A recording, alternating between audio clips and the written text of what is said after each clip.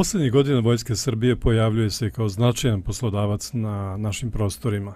Ovi dana raspisan je novi konkurs za popunu jedinicu u Novom pazaru, Raški i Kraljevu za određene vojničke dužnosti. Konkurs je otvoren do 30. juna.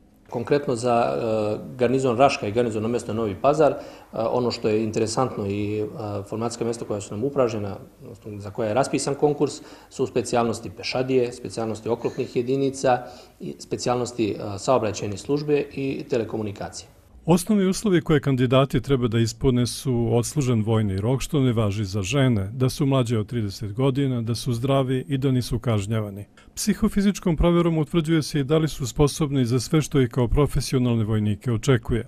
Radno vreme u vojsci je e, propisano zakonom kao e, osmočasovno e, dnevno radno vreme, odnosno 40 sati nedelje. I ono je načelno od 7 do 15 časova.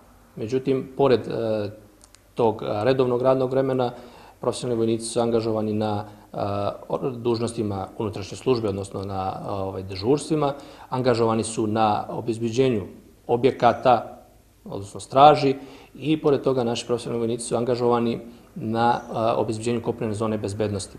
Ovakve konkurse obično prati veliko interesovanje između ostalog i zato što u vojsci kandidati imaju pouzdanog poslodavca sa redovnom i solidnom zaradom. Mogu da očekuju zagarantovanu znači, platu koja je pre svega redovna i za naše uslove